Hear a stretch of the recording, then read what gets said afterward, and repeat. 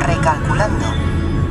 Siga 60 metros y gire a la izquierda, gire a la izquierda y gire a la izquierda.